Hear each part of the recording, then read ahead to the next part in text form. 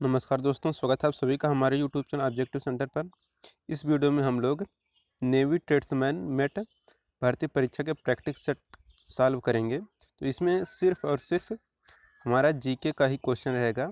बाकी और सब हम ऐसे टुकड़े टुकड़े में पढ़ लेंगे मैथ अलग पढ़ लेंगे जीके अलग है ये, और इसके बाद इंग्लिश अलग पढ़ लेंगे, जो भी हैं अलग अलग इसका जो लिंक है पूरा प्ले लिस्ट का, उसको हमने डिस्क्रिप्शन बॉक्स में दे दिया है तो आप वहाँ से पूरा देख सकते हैं। तो ये हमारा दूसरा है टेस्ट सीरीज़ तो उसी को हम लोग स्टार्ट करने वाले हैं। तो यहाँ पर हम लोग सबसे पहले जी के ही पढ़ने वाले हैं। देखिए, यहाँ पर छिहत्तर नंबर का क्वेश्चन है कि राजनीतिक स्वतंत्रता का अर्थ क्या होता है? तो देखिए, जो राजनीतिक स्वतंत्रता का अर्थ होता है, वह होता है कि लोगों की मुक्त राजनीतिक गतिविधियाँ। यानी कि राजनीतिक स्वतंत्रता से तात्पर्य ऐसी अवस्था या शर्त से है जिसके अंतर्गत व्यक्ति को राजनीतिक रूप से सरकार बनाने, संचालित करने, व्यवस्थित करने और गठित करने का अधिकार दिया जाता है। दूसरा है कि यूएन चार्टर में कितने सिद्धांत हैं? तो जो यूएन चार्टर है, उसमें सात सिद्धांत हैं। तो यहाँ पर इसका सी आंसर करेक्ट हो जाएगा। सेवेंटी एट नंबर का क्वेश्चन है कि मार्क्सवादी भौतिकवाद किसके विचार से आया है? Hegel Feuerbach, Darwin Engels. तो जो मार्क्सवादी भौतिकवाद का जो विचार आया था, यह डार्विन के द्वारा आया था। तो अठहत्तर के यहाँ पर सी आंसर करेक्ट हो जाएगा।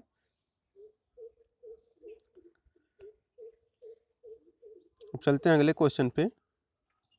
भारतीय संविधान का अनुच्छेद, यानी कि जो आर्टिकल होता है, फ़र्स्ट भारत को क्या घोषित करता है? तो जो अनुच्छेद फ़र्स्ट है, वह भारत को क्या घोषित करता है? तो आपको भी पता होगा कि भारत राज्यों का एक संघ होगा। तो यहाँ पर ऑप्शन नंबर ए यहाँ पर दिख रहा है तो सेवेंटी नाइन का यहाँ पर ए आंसर करेक्ट हो जाएगा। तो भारतीय संविधान की धारा फ़र्स्ट जो है, देश के, यानी कि जो अनुच्छेद है, फ़र्स्ट के अनुसार देश के नाम, संघ के भूक्षेत्र तथा भारत से संबंधित है। जिसके अनुसार भारत राज्यों का एक संघ होगा। इसमें यह भी कहा गया है कि भारतीय भूक्षेत्र में सभी राज्यों के भूक्षेत्र संघ शासित राज्यों के भूक्षेत्र और अन्य भूक्षेत्र जो भारत में हैं, शामिल होंगे। अस्सी नंबर का क्वेश्चन है कि सर्वाधिक अस्थायी पारिस्थितिकी तंत्र निम्न में से कौन सा है? तो देखिए, जो सबसे अस्थायी की यहाँ पर बात करे, रहा है तो अस्थायी की बात यहाँ करेगा तो महासागर यहाँ पर करेक्ट आंसर हो जाएगा। ऑप्शन नंबर सी तो अस्सी का यहाँ पर सी आंसर करेक्ट हो जाएगा। अब है इक्यासी नंबर का क्वेश्चन कि मुख्य बैंकों जो चौदह थे, उनका राष्ट्रीयकरण कब हुआ था? तो चौदह राष्ट्रीय बैंकों का जो राष्ट्रीयकरण हुआ था, उनका जो हुआ था वह 1969 में हुआ था। तो 17 जुलाई को हुआ था ये 17 जुलाई 1969 में हुआ था। तो चंद चौदह मुख्य बैंकों का राष्ट्रीयकरण। तो यहाँ पर हमारा बी आंसर करेक्ट हो गया। इसके बाद बयासी नंबर का क्वेश्चन है कि फलों को पकाने वाला हार्मोन कौन सा होता है? तो देखिए, एथिलीन ऐसा एकमात्र हार्मोन है जो गैस रूप में पाया जाता है और यह फलों को पकाने में सहायता करता है। हार्मोन के रूप में इसे वर्ग ने उन्नीस ईस्वी में प्रमाणित किया था। यह मादा पुष्पों की संख्या में वृद्धि करता है। यह पत्तियों, पुष्पों व फलों के विलगन को प्रेरित करता है, जो एथिलीन होता है। तिरासी नंबर का क्वेश्चन है, माइक्रोवेव ओवन में जिस माइक्रोवेव ट्यूब का उपयोग होता है, वह कौन सा होता है? तो माइक्रोवेव ओवन में जो होता है, उसमें जो माइक्रोवेव ट्यूब यूज़ किया जाता है, वह रहता है मैग्नेट्रॉन ट्यूब। यहाँ पर इसका सी आंसर करेक्ट हो जाएगा। उपनिषद शब्द का शाब्दिक रूप से यह अर्थ होता है ज्ञान, प्रज्ञता, पास बैठना, सरस्वर पाठ। तो देखिए जो उपनिषद शब्द का शाब्दिक अर्थ होता है, वह होता है पास बैठना। तो यानी कि उपनिषद का शाब्दिक अर्थ है पास बैठना या समीप बैठना, अर्थात ब्रह्मा, जो ब्रह्म विद्या को प्राप्त करने के लिए गुरु के समीप बैठना।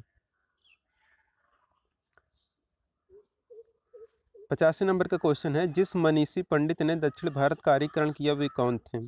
तो जो पंडित दक्षिण भारत का आर्यीकरण किए थे तो आर्यीकरण करने का काम किए थे अगस्त ऋषि ने।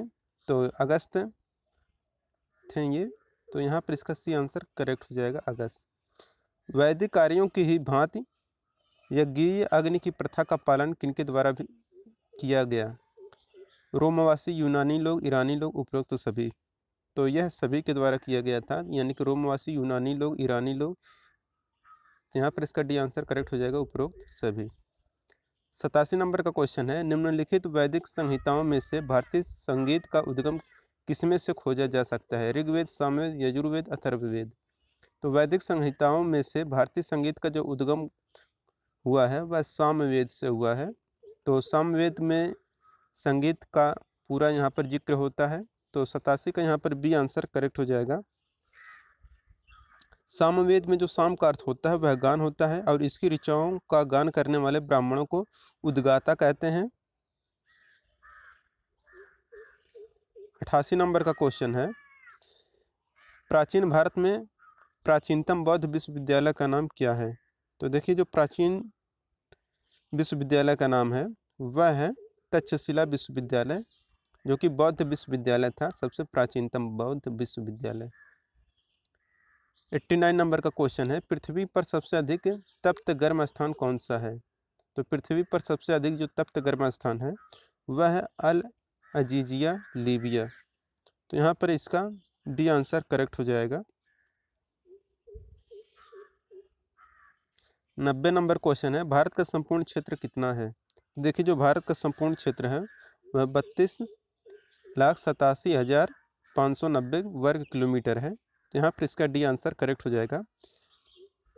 और आकार की दृष्टि से भारत विश्व का सातवां सबसे बड़ा देश है और उत्तर भार भारत से दक्षिण में जो है, यानी कि जो भारत है, उत्तर से दक्षिण में जो है, यह बत्तीस सौ चौदह किलोमीटर है और पूरब से पश्चिम में अगर इसकी लंबाई देखी जाए तो यह उनतीस सौ तैंतीस किलोमीटर तक फैला हुआ है। और भारतीय सीमा जो रेखा है, वह पंद्रह हज़ार दो सौ किलोमीटर लंबा है और अगर तटीय रेखा की बात करें तो यह पचहत्तर सौ सत्रह किलोमीटर लंबा है। इक्यानवे नंबर क्वेश्चन है, पृथ्वी की सबसे लंबी पर्वतमाला कौन सी है? तो पृथ्वी की जो सबसे लंबी पर्वतमाला है, वह हो एंडीज पर्वत। तो एंडीज पर्वत जो है, वह संसार की सबसे लंबी पर्वत श्रृंखला है और जिसकी लंबाई लगभग यह सात हज़ार किलोमीटर है।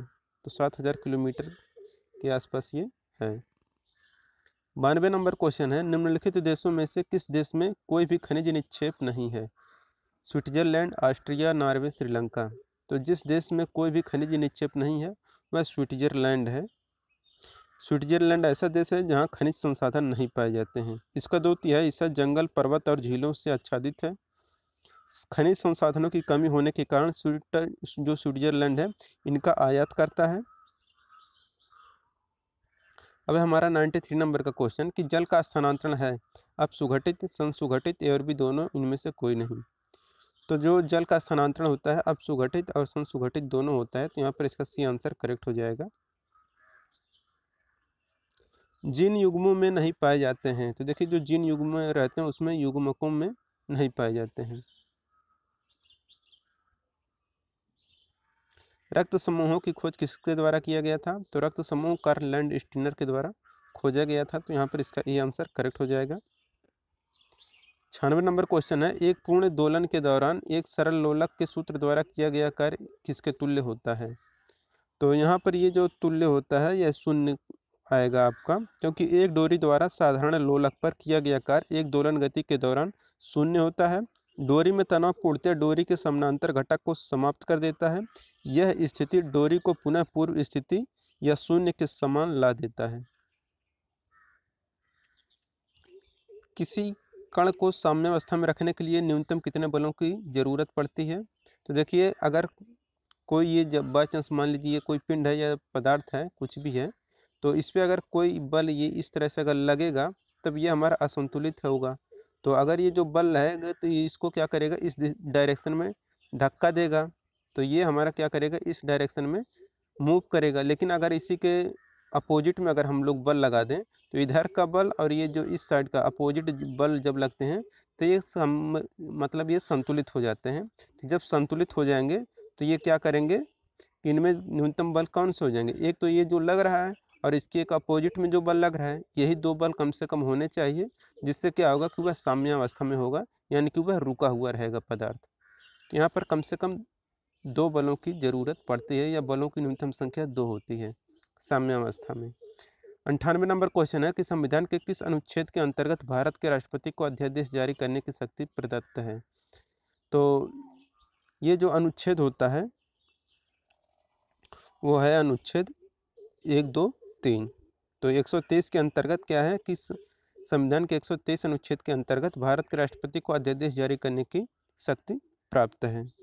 और जो अनुच्छेद 360 है, यह वित्तीय आपात के बारे में बताता है। जो अनुच्छेद 356 है, यह राज्यों में संवैधानिक तंत्र के विफल हो जाने की दशा में बताता है और जो अनुच्छेद 200 है, यह विधायकों पर अनुमति से संबंधित है। निन्यानवे नंबर क्वेश्चन है, निम्नलिखित में से कौन सी सर्वाधिक गहरी महासागरीय गर्त है? तो जो सबसे ज़्यादा गहरा महासागरीय गर्त होता है, वह मैरियाना गर्त है। सबसे गहरा गर्त मेरियाना गर्त। अब इसके बाद हंड्रेड नंबर का क्वेश्चन है कि मैं हाल ही में फ़लस्तीन के नए प्रधानमंत्री कौन नामित किए गए हैं? तो ये आपका है, मोहम्मद सतिये थे। तो यहाँ पर इसका भी आंसर करेक्ट हो जाएगा। तो अगर ये दोस्तों आपको वीडियो अच्छा लगा हो तो वीडियो को ज़रूर लाइक करें। अगर आप हमारे चैनल पर नए हैं तो चैनल को ज़रूर सब्सक्राइब करें। बाकी इसका जो अगला और पिछला सब जो भी सीरीज़ है, इसका लिंक हमने डिस्क्रिप्शन बॉक्स में दे दिया प्लेलिस्ट के रूप में तो आप उस प्लेलिस्ट पर क्लिक करके आप अपना अगला और पिछला सारा का सारा वीडियो देख सकते हैं। और ये वीडियो आपको ज़्यादा से ज़्यादा शेयर करना है अपने दोस्तों के साथ, ताकि हम और भी नेवी ट्रेड्समैन के क्वेश्चन लाते रहें आप लोगों के लिए। मिलेंगे नेक्स्ट वीडियो में। Thank you